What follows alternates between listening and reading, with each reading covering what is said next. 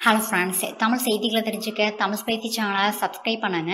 கஜா புயல் குறித்து தமிழக அரசானது முன்னெச்சரிக்கை நடவடிக்கைகளை ரொம்ப சிறப்பாக செஞ்சுருக்காங்க அப்படின்னு பல்வேறு அரசியல் கட்சி தலைவர்களும் எதிர்க்கட்சி தலைவர்களும் அவங்களுடைய பாராட்டுகளை வந்து தெரிவித்தாங்க இது குறித்து அதிமுக கட்சியை சேர்ந்த அமைச்சர்கள் எம்பி எம்எல்ஏ கஜா புயலை விட தமிழக அரசு தான் அதோட பணிகளை வந்து ரொம்ப வேகமாக செயல்படுத்திட்டு இருக்காங்க அப்படின்னு தெரிவிச்சிருந்தாங்க.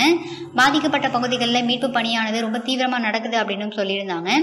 இப்போ வந்து ஸ்டாலின் பாதிக்கப்பட்ட பகுதிகளை போய் மேற்பார்வையிட்டிருக்காங்க. கடலோர பகுதிகளுக்கு ஸ்டாலின் நேரடியாகவே போய் அந்த பகுதியை சேர்ந்த மக்களை சந்திச்சு அவங்களுக்கு ஆறுதல் சொல்லியிருக்காங்க நிவாரணப் பொருட்கள் வழங்கியிருக்காங்க. இது குறித்து ஸ்டாலின் வந்து ட்விட்டரில் வந்து அவங்களுடைய கருத்தை வந்து பதிவு பண்ணியிருக்காங்க. அதில் வந்து ஸ்டாலின் என்ன சொல்லியிருக்காங்கன்னா நான் வந்து தமிழக அரசோட முன்னெச்சரிக்கை நடவடிக்கைகள் குறித்து முன்னாடி வந்து பாராட்டினேன். ஆனால் இப்போ நேரில் பாதிக்கப்பட்ட பகுதிகளை வந்து பார்க்கும்போது தான் தெரியுது மீட்பு பணியானது ரொம்ப மோசமாக வந்து இருந்திருக்கு. அது மட்டும் இல்லாமல் இன்னும் சின்ன சின்ன கிராமங்களுக்கு மீட்பு பணிக்குழுவானது போகவே இல்லை. இந்த விஷயத்தை பற்றி ஏன் வந்து எடப்பாடி பழனிசாமி கண்டுக்கவே இல்லை?